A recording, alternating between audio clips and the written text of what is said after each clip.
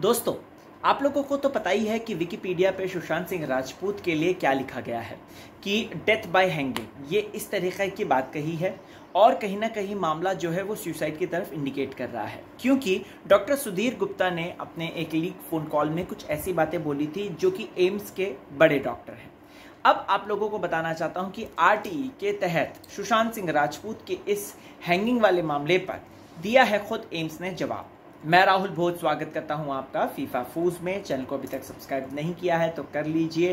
Bell icon को ज़रूर press करें। फेसबुक ट्विटर इंस्टा पे मैं मौजूद हूँ तो आप मुझे वहाँ पर फॉलो कर सकते हैं। दोस्तों, अब बात करते हैं none other than Sushant Singh Rajput के इस मामले को लेकर। कुछ लोग कह रहे हैं आत्महत्या, कुछ लोग कह रहे हैं हत्या। अगर बात की जाए तो सीबीआई अभी तक अपनी रिपोर्ट क्लियर नहीं कर पाई है और वो हर एक एंगल से जाँच कर रही है।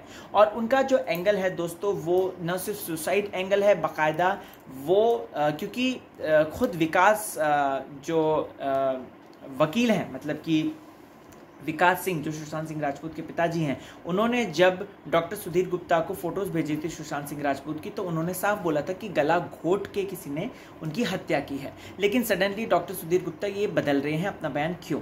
तो निलोत्पल मृणाल ने दोस्तों आरटीआई डाला, साथ ही साथ एक और आरटीआई का जवाब देते हुए, दोनों ही आरटीआई का जवाब देते हुए एम्स ने ये बातें बोली हैं कि ये एक ऐसा मामला है जिसके बारे में हम लोग इतना मीडिया हाउस पर रिवील नहीं कर सकते।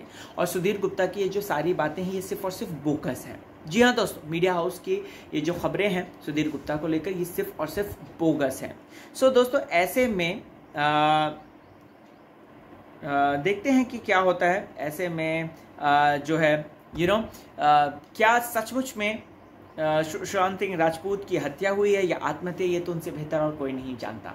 आपका क्या रिएक्शन है? कमेंट करके ज़रूर बताएँ।